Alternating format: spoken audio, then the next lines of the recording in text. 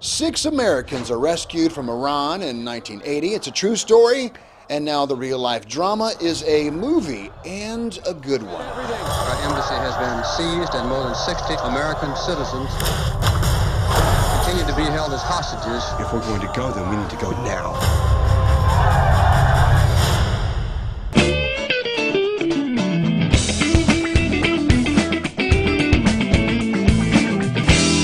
Welcome to the best movie review show on the internet. I'm your host, Brett Martin, and thank you very much for watching.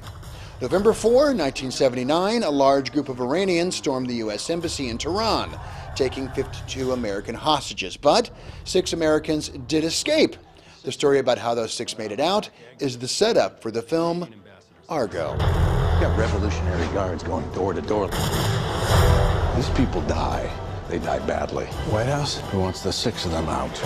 The six find refuge in the home of the Canadian ambassador, and that's when CIA operative Tony Mendez comes in. He's played by Ben Affleck, who also directs the film.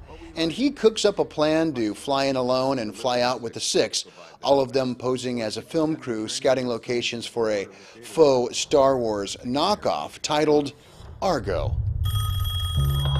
Funny man, what are we watching? I got an idea. They're a Canadian film crew for a science fiction movie. I fly into Tehran. We all fly out together as a film crew. I need you to help me make a fake movie.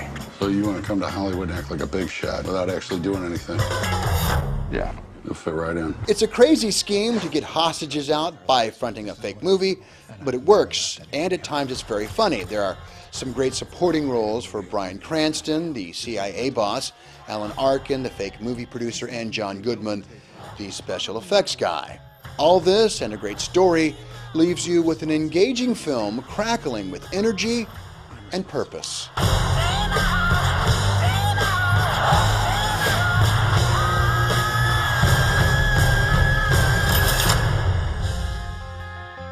You really believe your little story is going to make a difference when there's a gun to our heads? I think my little story is the only thing between you and a gun to your head. This is no documentary, it's a major studio motion picture. And it's a heck of a good one at that. So the Flickometer gives Argo a 5 out of 5. A great film, great acting, great directing. This is Oscar worthy all the way. Tell me what you think. Head on over to my Facebook page. It's called The Brett Side and uh, click like.